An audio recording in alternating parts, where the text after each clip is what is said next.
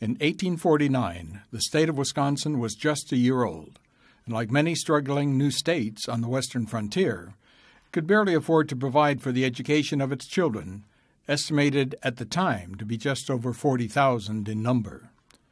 There was no standard curriculum, and competent teachers were hard to come by.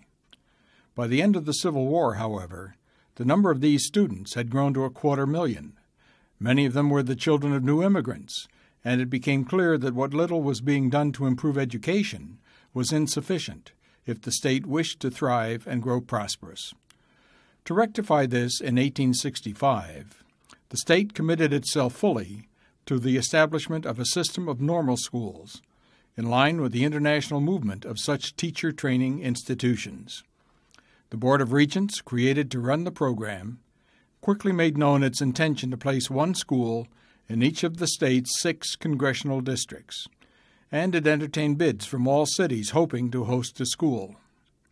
The first two schools were established at Platteville in the 3rd Congressional District and Whitewater in the 1st.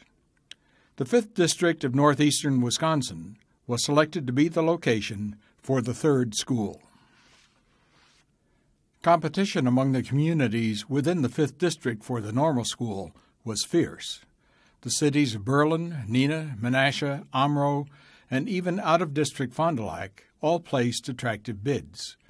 Despite their best efforts, however, none could match the utility and advantage of locating the school in Oshkosh, which at the time was the state's second largest city. Still, after the city's selection in 1866, it would be two and a half more years before Oshkosh could agree upon and arranged title for the location of the school, a delay that even forced the city to hold a referendum on whether or not the community wanted the school at all. The school's supporters prevailed, and a location in the fields on the outlying Algoma Boulevard was selected for the location of the school. It was a local architect, William Waters, who designed the elegant normal school building. Delivered on time in 1869, the $44,000 structure would have been ready for classes in the fall of 1870 if the state had not run out of the funds necessary to staff and operate the school. The Board of Regents had no other choice but to allow the building to sit idle for one year, much to the disappointment of the residents of Oshkosh, who had given both land and $30,000 toward the construction of the school. At last, on September 19, 1871, a crowd of townspeople and dignitaries assembled in the school's theater. On hand was the man selected to be the first president of the Oshkosh Normal School. George Sumner Albee began his remarks by proclaiming that intelligence for the many, not the few, was to be their motto, a commitment to progressive education that still lies at the heart of the campus today. Registration continued throughout the year. Each student who applied was rigorously tested then interviewed by Mr. Albee himself. By the end of the first year, 314 students had been enrolled. In its first few decades, life at the Oshkosh Normal School did not resemble what many think of as a typical college experience. There was a large diversity in ages of the students, for example. Many students came to the school with several years of teaching experience behind them, while some did not have high school diplomas. These students all lived at home or within the community, as there were no dormitories on campus. Students were kept to a strict code of conduct that was enforced both on and off campus.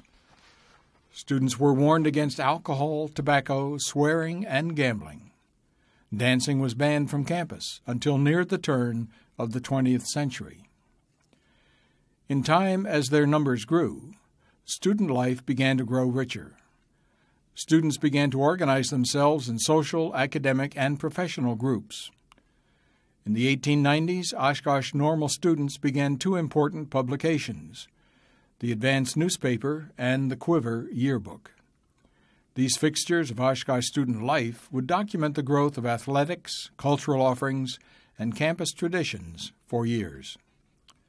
The school's curriculum was also expanding. At the turn of the century, new specialized programs were added, such as domestic science and industrial arts, to meet new trends in education.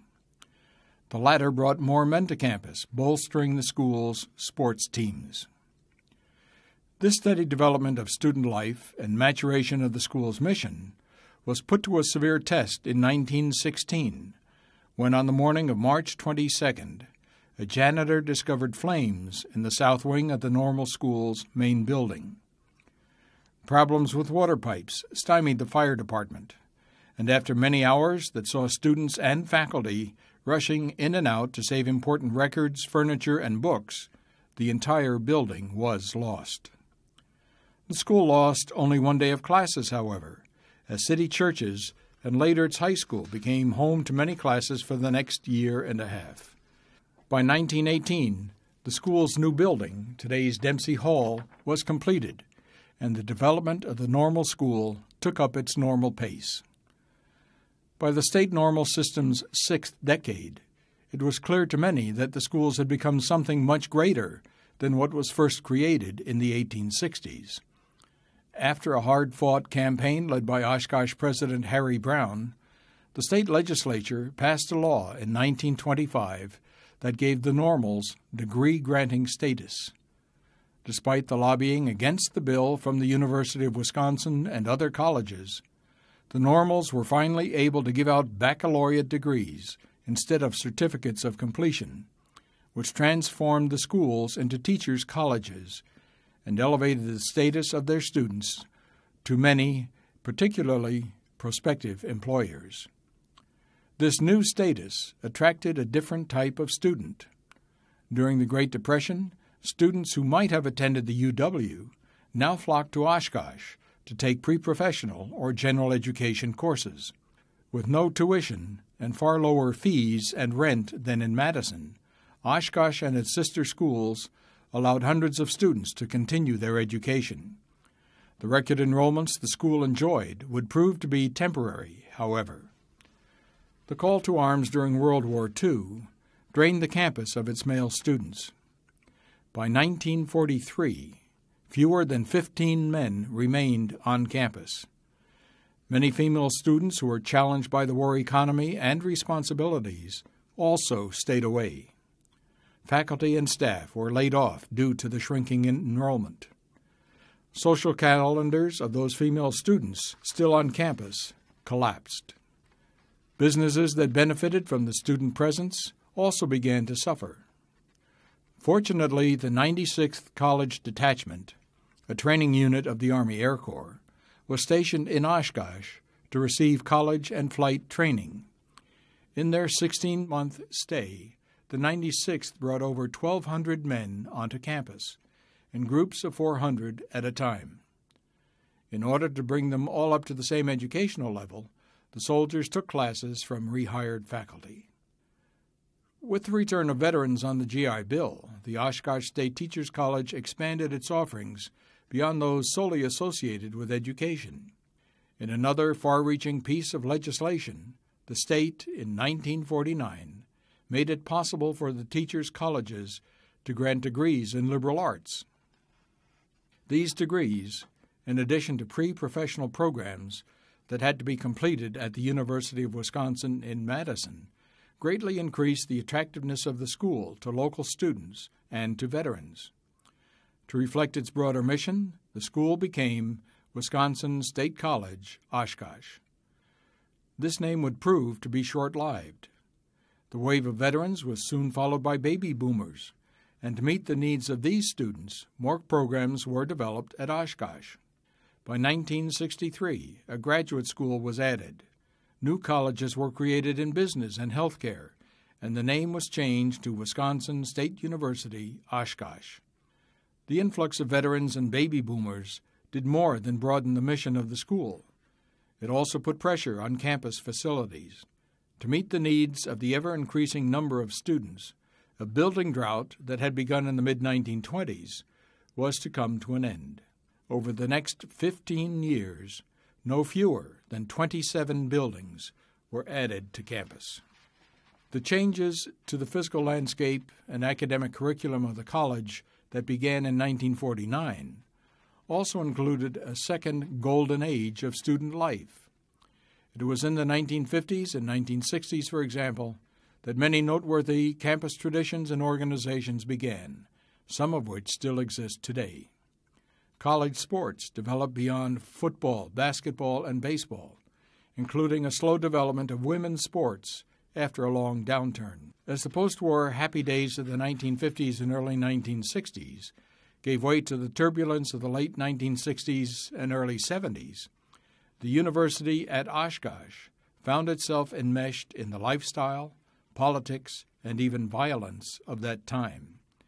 It is said that the 60s didn't reach Oshkosh until November 21, 1968 the day African American students occupied President Roger Guiles' office with a list of demands to make the campus more hospitable to people of color.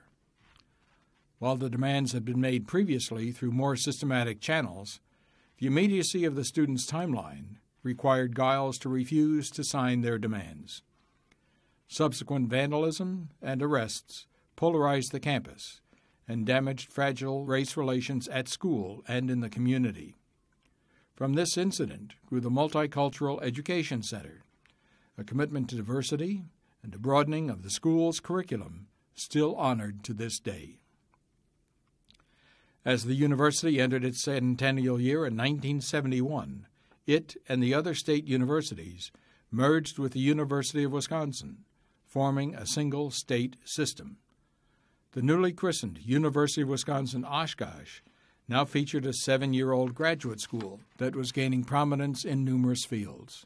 37 buildings graced the campus. Plans were even underway to add PhD programs. As the 70s progressed, economic and other realities required the university to hone its mission and to concentrate upon its strengths. To do so, it looked inward at the way it developed and attracted its faculty and staff a professional development program, and a school calendar offering periods for research and interim courses were two lasting legacies of the short career of Chancellor Robert Birnbaum. Investment in emerging technologies has enabled the campus to remain current and relevant to its students. Over the years, UW Oshkosh has adjusted its mission and created new programs, institutes, and degrees that keep its curriculum and services salient to the marketplace of ideas and jobs. Finally, over the past 10 years, during very challenging economic times, and under the leadership of Chancellors John Kerrigan and Richard Wells, the campus has continued to look inward and to reinvest in its aging facilities. The new Student Union, renovated Halsey Science Center, soon to be completed Student Health and Wellness Center, and a new academic building are all evidence of the university's growth and ability to create facilities that match and improve the outstanding work being performed inside of them. At the same time, the university has engaged the community by working with regional businesses to provide university solutions to local industrial and commercial problems while strengthening scholarship and internship opportunities for its students. Communications between the university and community organizations regarding projects and programs of mutual interest are a daily occurrence. The faculty, staff, and students contribute to the community by working, volunteering, serving, and healing. The students, staff, and faculty work to expand knowledge and to improve the area's social, cultural, and educational environment. The campus community takes part in the city it also brings the city to campus through its guests, concerts, exhibits, classes for retirees, weekend degree programs, and social services. As part of the nationally recognized UW system, UW Oshkosh believes in the Wisconsin idea, the 110 year old tradition that our university should benefit everyone in the state, not just those on campus. UW Oshkosh collaborates with regional organizations and communities and serves as an economic engine by contributing more than what $500 million to the region annually. The university also brings value in terms of community building, human capital and brain power, markets and market opportunity, knowledge and ex expertise, and regional quality of life. I encourage you to get to know our campus, get to know the, our mission, enjoy the many opportunities to connect, try a sporting event, a theater production, or a musical performance, I am proud to be a part of UW Oshkosh and I hope you'll be too.